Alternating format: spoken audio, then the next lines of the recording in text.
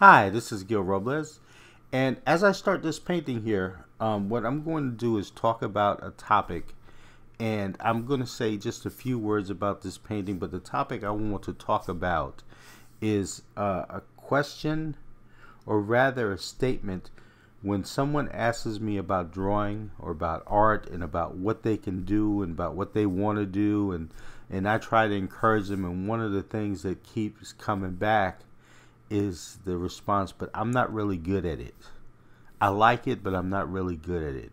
Or you could really want to be an artist, but are just a bit intimidated or, or maybe just feel self-conscious about your abilities and so forth and so you you you don't go at it wholeheartedly because you feel you're not you're not ever going to get good or you feel like you're not good at it and you're waiting till you get to a certain point where you're good enough to really, really uh, go after it, I guess, or, or something like that. Well, that, that, that whole idea of I'm not good at it, I'm not really good at it, really doesn't matter. And I'm going to talk about that for a second, uh, in a second, rather. Uh, but first, uh, as far as uh, this painting is going to be concerned, and, and uh, I've talked a lot, I've done quite a few videos and, and this method is not different from what I've done before as far as building up this uh, um, grayscale and then painting over it and, and it's not something that's unique to me or at all or, or unique to, to it's it's to anybody really. It's it's an old method um, in, in traditional painting as well as digital. So um, but what you see as the painting builds is a painting is basically a series of, of, of best guesses. The from the moment you start putting down a line or brushstroke or whatever the idea is that I believe that this starts here. I believe that the head should start here or, or you know the eyes fall here and so forth. It's just a series of best guesses. And then as you go on what you're doing with the rest of the painting is you're making corrections because the guesses may be a little bit off or you know it, it, you move from one thing to the next as well. It's just you you guess where the head goes. Then you guess you know you guess where it falls on on on, the, the space provided. Then you guess where where um, the eyes fall. You guess where where the nose you you start making guesses and breaking things down and creating a kind of map for putting over the values then you guess what are the best values here and so forth. And and uh, um, as you go along you make corrections. So this painting that you're viewing is is a series of, of, of best guesses and corrections. At times it looked awful to me as I painted it. At times I can see the the mistakes that I've made in the drawing. And then um, and then during those times or after what when I see what I see, I I, may, I go ahead and make the corrections. But that's what you're going to be viewing as, as this painting goes along. And also listening to me and listening to what I have to say about the um, why when someone says but I'm not good at it really doesn't matter when it comes to drawing. Because what matters more is what do you want to be? What do you want to be? Do you want to be good you know, do you want to be good at this? You know, what what is it that you you're trying to accomplish when you draw? I, I mean, if you are drawing, you obviously have a, a a, a liking for it. I don't know how far that liking goes. Um, you you may or may not have talent. You know, there are people who have a, a, great deal of talent, people who are dripping with talent, but talent at the most, what talent is, is talent is a kind of boost talent is its kind of um, head start. But as I mean, there, there, are a lot of people who made videos on this, and and uh, basically it adds up to the same thing. Talent can only take you so far. You know, there there there's um, there's a whole lot of, lot of other things. Well, there's one basic thing that needs to kick in beyond the talent and even those who do not have the talent, if they have this, can grow beyond talent. And that's discipline. That's the discipline to, to, to, to practice every day, the discipline to want to grow and be better. You know, you have discipline, and that's what matters. It's it's um, you have to decide not what you can do, but what you want to do, and then you have to determine that you're going to have the discipline to learn what you need to learn to be as good as you can get, and then um, and then you have to practice that every day. Um, art isn't like anything else. If you're a dancer, you practice. If you're a musician, you practice. It's whatever you do, you you you you're practicing at it. it. you know, you you practice to, to to hone your craft to get better. So another thing that matters along with discipline is your passion, your drive to want to be better. That matters. Those things, discipline and passion, matter more than talent. Talent you can you know after a certain point it, it becomes mute. There are people with with a great deal of talent that relied on their talent and then saw other people pass by them based on their discipline and their passion to want to get better. So talent is not the thing.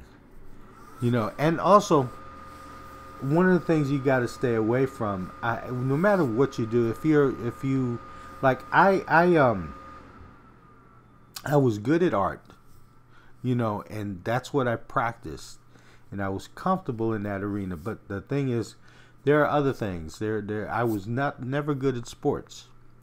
There are times where, where you know, I, I played sports. I loved baseball, and I still do. And there were times where you know I had my good days, and, and, and I enjoyed them. But there are times where you know most of the times I really wasn't good at it, and uh, other sports as well. Kind of awkward and you know whatever. But uh, the thing is that i played and i had fun and, and that was it.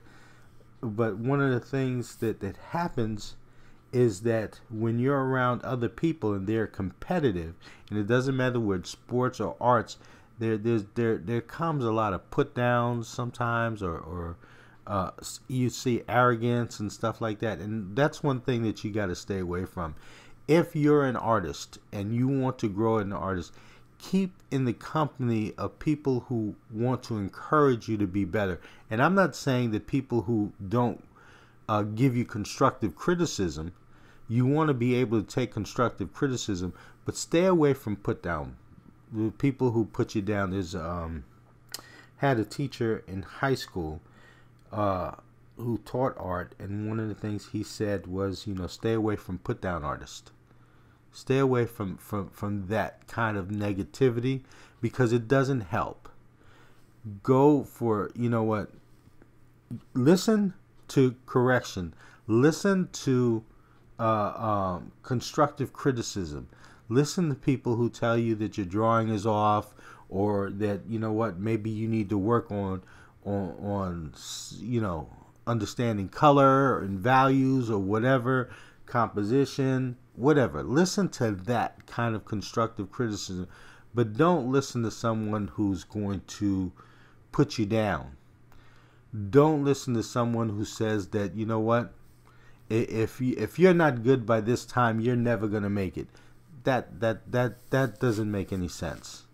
You know what you need to do is decide what you want to do, and uh, um, to be disciplined in carrying out what you you know what your goals are as far as becoming a better artist. Be passionate about it, you know, and um, stay away from people who would put you down. Now, the other thing is look at other artists. Look at other artists. Um, don't listen to this this idea that you know what you you can't copy other artists. And I'm not talking about copying other artists and then signing your own signature. I'm talking about copying to learn. Even copying somebody's style just you know not not for for to keep it and, to, and but to, to to learn to grow in it i mean some of the if you no matter what kind of art you like if you like comic book art you're going to see that um, if you look at the artists that you like that they had looked at other artists that they liked and they had imitated them at some point.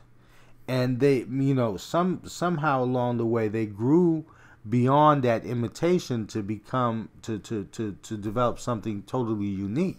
But you take any artist somebody who's been around uh, is no longer around, but somebody who I admired was John Buscema. John Buscema was a great, great uh, a comic book artist, and you look at his work, and um, you can see the influences of other people. Uh, he talked about uh, illustrators like Albert Dorne. Albert Dorne was a big influence on on on John Buscema, and you can see it in his work, um, especially during the mid '60s. Um, and then you could see the uh, you can see within his work uh, um, Albert Dorne's influence. You can see also the influence of other comic book artists like Hal Foster or Alex Raymond, and you can see those influences there. He was definitely influenced by other artists, but now he took it and did something that's totally different. To- not totally different, but you know, it was unique enough to say that hey, this was you can tell a drawing by John Buscema and and one by Hal Foster or, or Alex Raymond. There was a difference, you know, and and that's what you saw. And then there, you know, suppose you wanted to be an illustrator. You look at a guy like Norman Rockwell. Norman Rockwell was very, very, very influenced by guys like um, uh, J.C. Leyendecker. He was he was a big Leyendecker fan, and um, he he sought out Leyendecker. He sought out his advice. He, he wanted to learn from him and so forth. Uh, um, and you can see at the very beginning uh, a lot of Leyendecker's influence in Rockwell, not just in the brushstrokes, which Leyendecker was known for, but in the subject matter as well. So there was a big influence uh, on Norman Rockwell from uh, J.C. Leyendecker. Also, uh, uh, illustrators like Frank Rodrigo Ruger, Gruger, Gruger, Gruger, um, who didn't do paintings. he did very, very few, but most of it was charcoal drawings. Um, and he did these these illustrations, these drawings that that and and at the time Gruger was was an illustrator. Color was not as well developed as it was with uh, uh, Leyendecker and with uh, and later on with Norman Rockwell. So there was mostly black and white illustrations during Gruger's lifetime. Um, and he ventured into color. Uh, sometimes when you did color, color was printed in black and white regardless uh, of the color that was there, or sometimes it was printed in color, but it didn't look like the, the color reproductions that came later on. Um, but then you could look at um, guys like um, like Michelangelo. Michelangelo, a fine artist, uh, um, one of the great masters of art. He copied from frescoes uh, um, while he when he was young the works of artists before him to learn from them. So you know what? Uh, this is kind of like a tradition where you learn from the people who had preceded you. So you know what? Enjoy looking at art. You know, enjoy uh, uh, learning from the artwork of the past. Even uh, presently, you can look at the artists around you who are, um, uh, you know, who are working in the field now regardless of whether whether they're illustrators, fine artists, or, or comic book artists. And you know you can learn from them as well. You don't have to go all the way to the past. Usually, the, our our first link to the past is to look at the artists who are are in the field now and then learn about their influences, which is what I love to do. That's how I learned about uh, Hal Foster and Alex Raymond and Milton Caniff and, and Will Eisner, and um, I, I, learned about Leyendecker and Albert Dorne because I followed the trail. I kind of looked at the artists around me, and um, I, I, I was interested to find out who are the artists that influenced them, and that led me to the past. You know, so you can you can learn that way from from the artists around you, even if you go if you're a comic book artist. I, one of the one of the great things about comic book artists is that you you you have access to them at conventions and so forth, and you can ask questions, ask questions uh, about how they learned, what they learned, and, and so forth, and or you know you can you can do that on social media as well. There, there are uh, other like if there's not YouTube, there's Twitch, there's there's there's uh, um, Facebook, Twitter, you know, all these ways of, of, of reaching out to the people that you admire to ask questions, you know, and, and to in order for you to learn. Um, and don't just admire the drawings, learn from them. Learn, you know, color, drawing, composition, learn about the artist and so forth, like I said. So all these things are, are open to you, you know, and the the idea of you're not good enough or, or you know, I'm not good at it doesn't really matter. What matters what do you want? You know, and how badly do you want it? That's about it.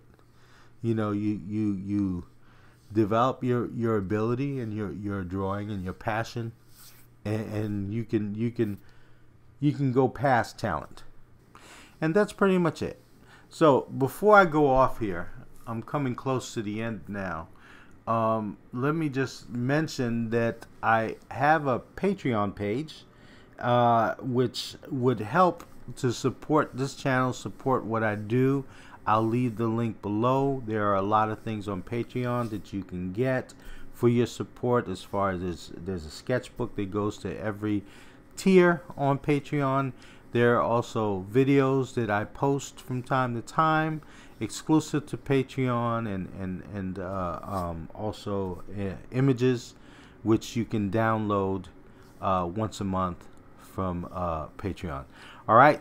So support me, support this channel. I will see you then. Bye bye.